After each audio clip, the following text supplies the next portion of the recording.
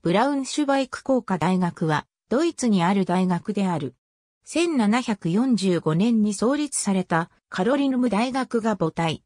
数学や物理、天文学で名高いガウスの出身校で、現在はその名を冠した学部も設けられている。なお、工科大学というのは、通称で、実際には人文系の学部も有する総合大学である。ドイツのテクニシャウナバーサタットは、工業総合大学と訳すのが本来で、工科大学に相当するのは、テクニシャホークシュラであるが、日本の文献では、TU も TH も、工科大学と訳されることが多い。本校でも、一般的な通称である、工科大学とする。ドイツの各療法では、17世紀から18世紀にかけて、大学、学校の設立が相次いだ。これには政治的な理由があった。かつてドイツの知識層は神聖ローマ帝国の半島に設けられた大学を最高学府として目指していた。しかし、ルターの宗教改革に起因するシュマルカルデン戦争や30年戦争の結果、神聖ローマ帝国による統一は事実上瓦解した。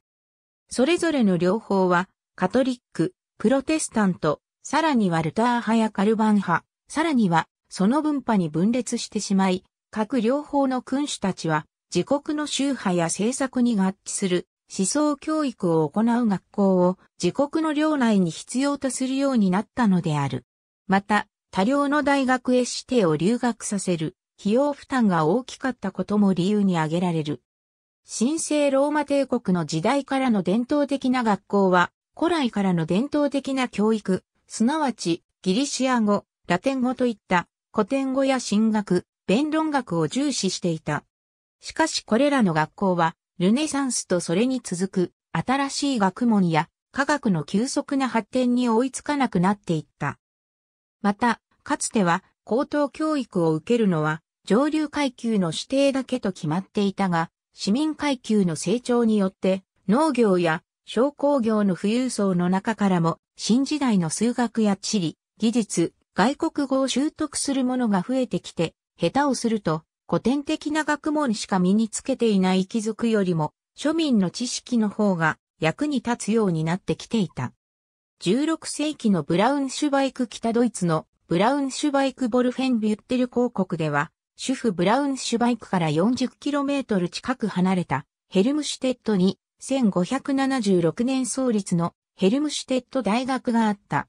その周辺各国ではキール大学、ハレ大学、ゲッティンゲン大学と新たな大学が登場した。創立時の建物創立者のカール一世人選を行ったイエルーザレム・ブラウンシュバイク・ボルフェンビュッテル広告では1735年に統治下のシンブラウンシュバイク家が断絶し、行為が文家のベーベルン家に移った。この年にカール一世が22歳の若さで即位すると、重症主義と啓蒙主義に基づく政策を国内に敷いた。カール一世は、領内の食産工業のためには、上流階級が新しい時代の学問、知識、科学、技術を習得する必要があると考えた。そのために、お膝元のブラウンシュバイクに新たな学校を創立することにした。これは、イギリスのカレッジを手本としたもので、中等教育を行うギムナジウムと高等教育を行うウニベルシュタットの中間に位置づけられた。すなわち、専門的な研究に生涯を捧げるような学者を目指すのであれば、ウニベルシュタットがそれを担い、コレギウムでは卒業後に実社会で活躍したり、各地のギムナジウムで教鞭を取ったりするような人材の育成を目指したのである。大学の創設にあたり、カール一世は、宮廷顧問の進学者イエルーザレムに教授陣の人選を行わせた。イエルーザレムは、進学者でありながら、啓蒙思想家でもあり、ドイツ諸国から新進気鋭の若い文人、学者を集めた。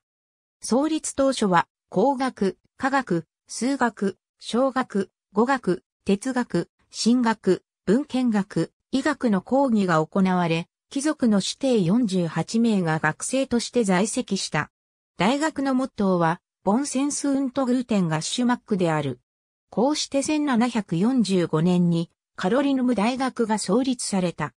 学校名のカロリヌムはカール一世の名前から取られている。創世紀の教授には、ブレーメン清派の文人、ゲルトナーやエーバートのほか、劇作家として有名なレッシング、エシェンブルクなどの文学者がいる。彼らによってカロリニム大学は18世紀後半のドイツにおける啓蒙主義の中心地の一つとなった。一方、18世紀から19世紀にかけてヨーロッパでは自然科学や工学が急速に発展し、大学の講義もそれを反映して理工系の授業が拡大していった。大学を理工系に再編したビルヘルム校19世紀に使われていた交渉19世紀に入って間もなくナポレオンの侵攻によってブラウンシュバイクはフランスに占領された。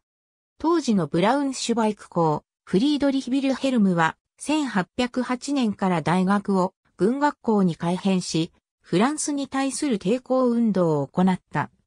これはナポレオン戦争が終わって、ブラウンシュバイク公国として1813年に独立するまで行われた。フリードリヒの後を継いでブラウンシュバイク校となったビルヘルムは理工系を重視し、カロリニム大学に理工系の講義を増やしていった。1835年には大学を人文学部、理工学部、経済学部の3つに分けたが、1862年には人文学部と経済学部を廃止して、王立工学学校に解消、理工系の8学科が設置された。さらに1877年には進学者が落成、移転して、王立カールウィル、工科総合大学と解消した。当時の学生の在籍数は211名。創立250周年を記念して1995年に発行された切手第二次世界大戦の戦火によって大学の建物も7割が破壊され、学校は存続の危機に陥った。州政府の援助によって建物が再建され、大学が再開された。1968年に現在のブラウンシュバイクカールウィルヘルミナ工科総合大学と解消した。ブラウンシュバイク工科大学というのはその通称である。ドイツでは2003年に国内の工科大学9校が集まって TU9 という連合組織を作っており、ブラウンシュバイク工科大学もその一校として加盟している。カール一世のカールはドイツ語ではカールと綴るが、ラテン語ではカロルスと綴る。その他フランス語ではシャルル、英語ではチャールズとなる。カール一世は領内のヘルムシュテット大学にも力を注いだが、ヘルムシュタット大学は16世紀のブラウンシバイクの領主ユリウスが創立したもので、もともとラテン語でアカデミアユリアと言ったのをカール一世の名を入れたアカデミアユリア・カロリーナと名を改めている。が、カロリーナにコレギウムは中性名詞なのでカロリヌムへと変化している。ハーツェグリーチはブラウンシュバイク校が創立したの意味で、ブラウンシュバイクは王国ではなく公国なので王立は正確ではない。無理やり直訳すると、高王立となる。ありがとうございます。